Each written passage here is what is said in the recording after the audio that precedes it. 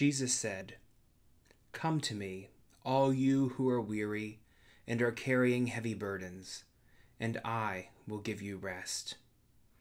In light of the enormous impact that COVID 19 has had on the human family, resulting in the deaths of so many of our siblings throughout this nation and the world, we invite you now to enter into a time of mourning as we meet our Savior, who promises to draw near to us in our distress. O God, who brought us to birth, and in whose arms we die, comfort us in our grief and shock at how many of your children have died. Embrace us with your love, give us hope in our confusion, and grace to meet the coming challenges. Through Jesus Christ our Savior. Amen. Psalm 121 I lift up my eyes to the hills. From where will my help come? My help comes from the Lord who made heaven and earth. He will not let your foot be moved. He who keeps you will not slumber. He who keeps Israel will neither slumber nor sleep. The Lord is your keeper. The Lord is your shade at your right hand. The sun shall not strike you by day, nor the moon by night. The Lord will keep you from all evil. He will keep your life. The Lord will keep your going out and your coming in from this time on and forevermore.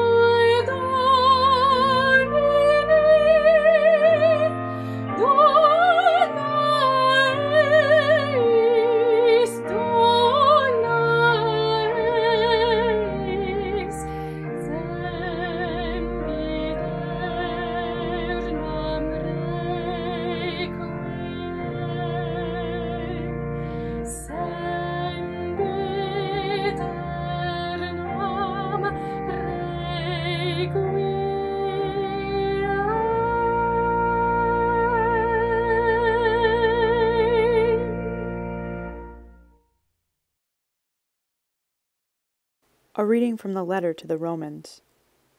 Who will separate us from the love of Christ? Will hardship or distress, or persecution, or famine, or nakedness, or peril, or sword? As it is written, For your sake we are being killed all day long. We are accounted as sheep to be slaughtered. No, in all these things we are more than conquerors through him who loved us. For I am convinced that neither death nor life, nor angels nor rulers, nor things present nor things to come, nor powers, nor height, nor depth, nor anything else in all creation will be able to separate us from the love of God in Christ Jesus our Lord. We invite you now to join us in prayers for the human family. Eternal God, we entrust to your loving presence all who have died during this pandemic, knowing that they are not alone, but with you. May they rest forever in your light and peace.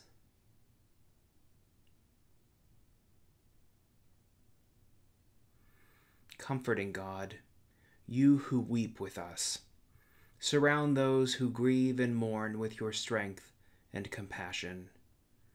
Give them your peace. May they know that they are not alone.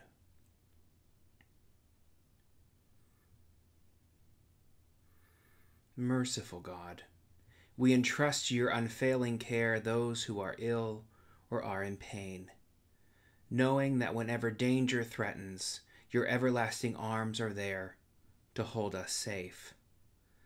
Comfort and heal them, and restore them to health and strength.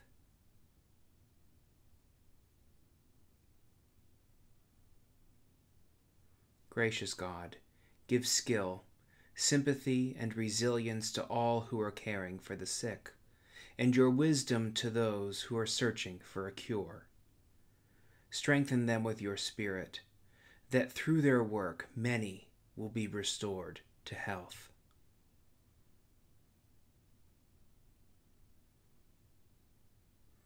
Wise God, give understanding and insight to those governing and making decisions regarding reopening, policy development, and public life. May they seek the good of all, guided by a desire to keep all people healthy and safe.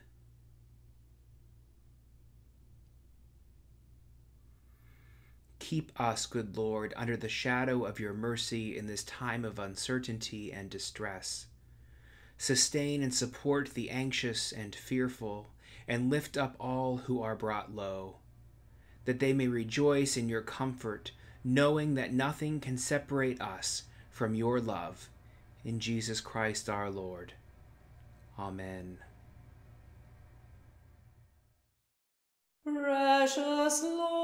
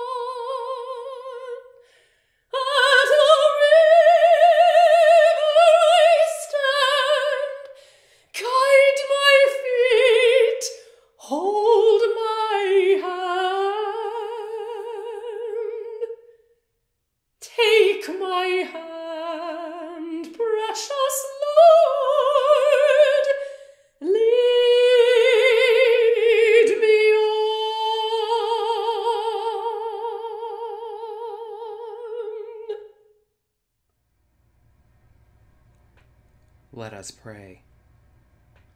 O Lord God, from whom we came, in whom we are enfolded, to whom we return. Bless us in our earthly pilgrimage through life, with the power of the Father protecting, with the love of Jesus indwelling, and the light of the Spirit guiding, until we come to our ending in life and love eternal through Jesus Christ our Savior. Amen. As we conclude this time of lament, may we rest in the knowledge that God always goes with us through the presence of the Holy Spirit and the presence of one another.